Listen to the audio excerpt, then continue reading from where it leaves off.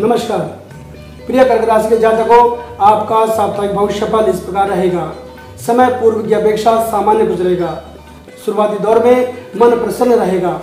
परंतु कारणवश संतान व पारिवारिक मतभेद सप्ताह के मध्य भाग में तंग कर सकते हैं। अतः इन मामलों को शांतिपूर्ण ढंग से सुलझाएँ। विपक्षों से सावधान रहने की सलाह दी जाती है। अपनी मान मर्यादा का ख्याल आपको स्वयं रखना होगा। शिक्षा प्रतियोगिता में परिश्रम की ज़रूरत है। किसी महत्वपूर्ण कार्य में व्यस्त रहेंगे। अनेक समस्याओं के समाधान के अवसर मिलेंगे।